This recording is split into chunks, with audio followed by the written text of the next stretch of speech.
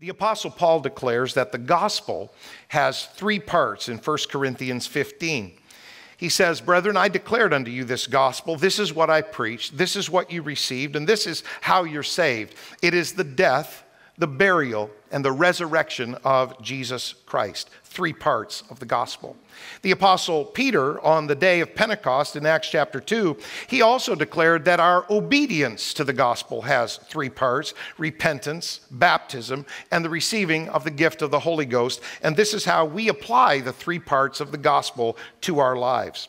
If you look into the gospel writers, uh, Matthew, Mark, Luke, and John all record the last command of Jesus. And although they use different words, it's very clear that baptism is part of obeying the gospel. Matthew records, Go and teach all nations, baptizing them. Mark records, He that believeth and is baptized shall be saved. Luke records that repentance and remission of sins should be preached in Jesus' name in all nations. Repentance and remission of sins is referring to repentance and baptism, of course. John, he tells us in John chapter 20, whosoever sins you remit, they are remitted unto them. When Jesus spoke that to the disciples, he was saying, You will have a chance to help people have their sins remitted, and that's why we baptize people. Obviously, the very last command of Jesus became the very first command of the church when Peter said in Acts 2, Repent and be baptized, every one of you, in the name of Jesus Christ Christ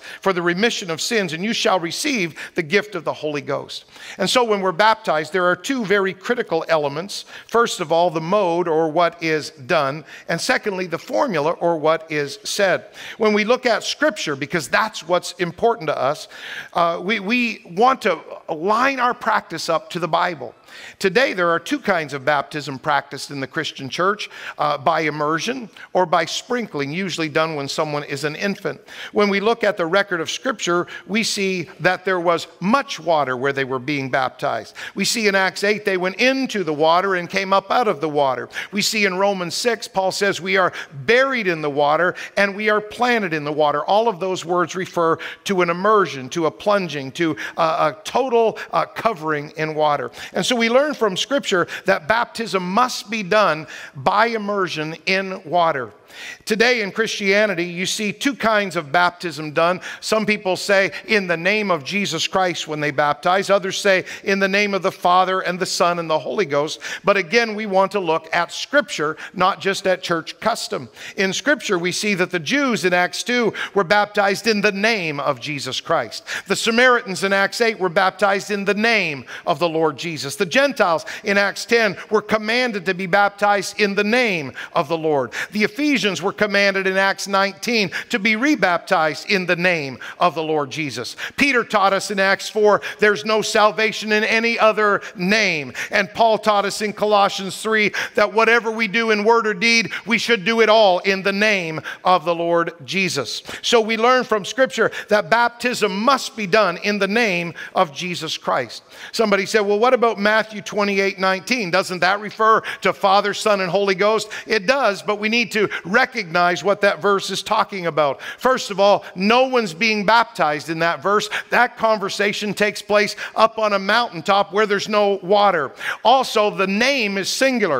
Uh, those three titles don't have any authority. It's one name, Jesus, who has three titles Father, Son, and Holy Ghost. The same as my name is Raymond, and I'm a father, a son, and I have a personality, but there's just one name. Matthew didn't even write those words until AD 62 when every baptism for three decades had already been done in Jesus' name. He's not saying, let's change it. He's saying, Jesus is the Father, the Son, and the Holy Ghost, and that's why we baptize in His name. And so baptism must be done in the name of Jesus Christ.